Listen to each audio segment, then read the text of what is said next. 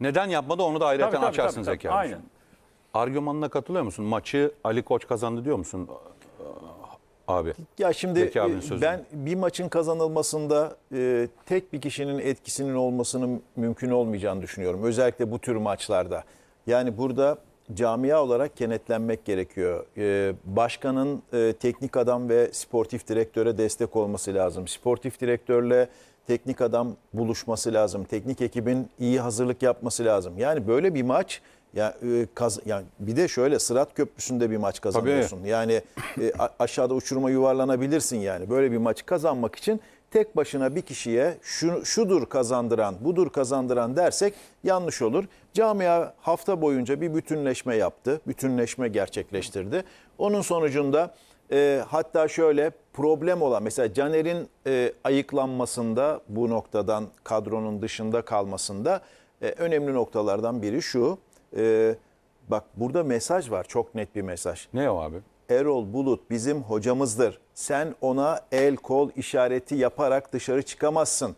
Onun saygınlığını azaltamazsın dediler. Mesaj verdiler. Bak Karagümrük maçı öyle, Göztepe maçı öyle. Her çıktığında sen burada e, şey değilsin dediler yani. Özne E, değilsin. Özne değilsin. Sen sen de burada görev yapan e, ve bence çok doğru. Ve Çünkü hocanın arkasında durman gerekiyor. Hani hoca bunları yöneten hoca. Şimdi orada hani ben burayı yöneten kişiyim diye mesaj veremezsin.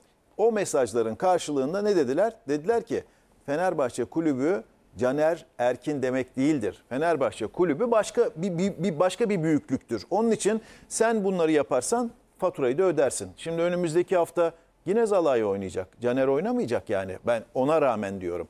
Bir başka nokta söyleyelim. Yani kazanma konusunda hani tek başına bir kişiye yüklememek gerektiğini Tabii, tabii, söylüyorum. Ee, bir başka nokta. Sezon başından beri Zeki burada hep diyor ki ya Sosa liderlik yapmıyor, Sosa liderlik. İşte liderlik yaptı. Evet yaptı. Liderlik yaptı. Evet. Hem de nasıl Çok liderlik koştu, yaptı biliyor musun? Evet. Bütün oyuncuların ne tür pozisyon oynadıklarını bilerek liderlik yaptı. Sadece yöneterek değil. Vakame'nin içeriye döndüğü her pozisyonda 3 oyuncu karşısına geçti. Üçüncü oyu Sosa oldu. Üçüncü oyuncu. İçeri devrildiğinde. Çünkü yaptığı iş o. Vakame dışarı doğru gider, içeri çeker, birinciyi geçer, ikinciyi geçmeden vurur. Bak dikkat et. İkinci ve üçüncü oyuncu geldi. Ve üçüncü oyuncular genellikle Sosa oldu. Zaman zaman Mert Hakan oldu ikinci oyuncu. Yani şunu söyleyeyim. e, oyuncuların hepsini bilerek e, oynadı. Yani rakip takımdaki oyuncuların Sosa e, onlarla beraber oynadığı için onların geleneklerini, göreneklerini, saha içerisi performanslarını, hareketlerini bilerek oynadı. Onu özellikle söyleyeyim. Yani Sosa şu maçta liderlik yaptı. Mesut Özil değil. Sosa liderlik Evet, yaptı aynen. ve Fenerbahçe kazandı. Kazandıran bir önemli nokta daha var. Bilmiyorum e, katılacak mı Zeki? E, Fenerbahçe Berat Flavio ikilisiyle Bakasetas arasındaki bağlantıyı kesti. Evet. Net bir şekilde kesti. Yüzde yüz. Az önce sö- söylemeye çalıştım. Ha, Evet. baka, e, o arayı o arada topu kendisinde tuttu. İki, yani onların yaklaşmalarını, yardımlaşmalarını, onların Bakasetas'a to Bakasetas'ın şutu yok. Şuta, şuta, Bakasetas'tan ne bekliyoruz böyle bir havada? Pelkas'ın yaptığını bekliyoruz değil mi? Yapmadı. Yapamadı. evet. Yani bütün bu bu e, aradaki bağlantının kesilmesi e, bir anlamda o 0-0'ı oynarken 1-0'a seni taşıyacak olan olayı ortadan kaldırdı. Ya oyunun sonunda Vakame'nin o e, hareketleri ya da işte içeriye devrilerek yaptığı, o içe kat ederek yaptığı hareketlerde de Sosa çok iyi tanıdığı için oralara ikili üçlü sıkıştırmalarıyla arkadaşlarını taşıdı ve oyunun sıkıştığı anlarda çok ciddi bir şekilde bence ilk kez liderliğini yaparak oynadı. Liderlik yaptı yani. Sadece kendi başına oynamadı. Kendisi oynamadı. Arkadaşlarına da liderlik yaptı. E tabii Zeki'nin söylediği gibi hocanın elinde de gerçekten de önemli bir e, seçenek var. Alternatif var. E, hamleleri her yaptığı hamlede e, Trabzonspor karşılık vermekte zorluk çekti. Bakın iki tarafa giren oyunculara bak. Yusuf Sarı giriyor, Abdülkadir Parmak giriyor. Bu tarafa bakıyorsun işte Valencia giriyor, Samat da giriyor. Yani e, hani Hamle onlar farklı. ne kadar etkiledi e, tartışılır ama Ozan Tufan hamle giriyor, tabii. Ozan Tufan giriyor. Yani Evet, bizim oynay- evet. Milli oynayacak takımın dediğimiz değişmez oyuncusu. Evet yani öyle baktığımız zaman e, Novak giriyor ya. Novak giriyor. Geçen sezon Trabzonspor'un en iyi 3 oyuncusunu say desen Onun başında yer alan Novak işte 80'den sonra oyuna girdi Fenerbahçe'de. Şimdi Ahmet Selim'e bir gidelim. Ahmet Selim tabii maçı birlikte takip ettik arkadaşımızla. Maç sonu neler oldu? Sonra bir havaalanına gitti Ahmet Selim. Ee, şu anda tabii moraller oldukça yüksek Sarı Lacivert takımda. Ee, antrenmanı da yarın açıyorlar değil mi sevgili Ahmet Selim? Ee, peki sözü sana bırakalım. Çok da fazla e, belki Haldun abiyle Zeki abi soru sorabilir. Detay merak ettikleri için.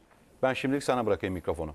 İlk olarak antrenman bilgisinden başlayalım Aykut İnce. Fenerbahçe yarın saat 12.30'da e, İrfan Can Kahveci'ye bir basın toplantısı düzenleyecek ve saat 15.30'da da antrenmanın ilk bölümü biz basın mensuplarına açık olacak. Tabii ki izleyicilerimiz A-Spor'dan hem basın toplantısını hem de antrenmanı canlı olarak izleyebilirler. Buradan da şimdiden ki antrenman yine sizin programınıza denk gelecek. Buradan da şimdiden izleyicilerimizle sözleşmiş olalım. E, Fenerbahçe için zaten siz de vurguluyorsunuz çok kritik bir ga- galibiyetti.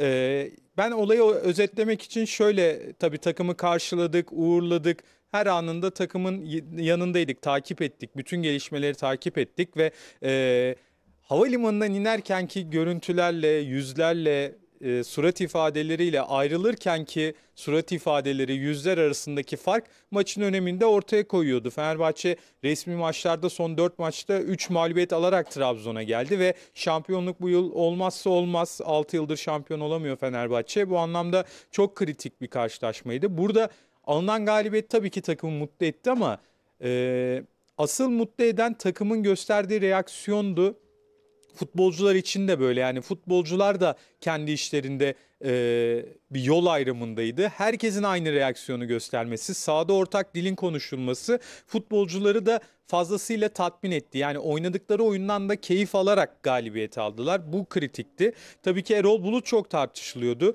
Erol Bulut'un çıkardığı kadro çok tartışıldı maç öncesinde. E, fakat e, bazı performansları ön plana çıkarmak gerekiyor. Sosa Göztepe maçında belki çok iyi bir performans sergileyemedi ama 12,5 kilometrenin üstünde koşmuştu.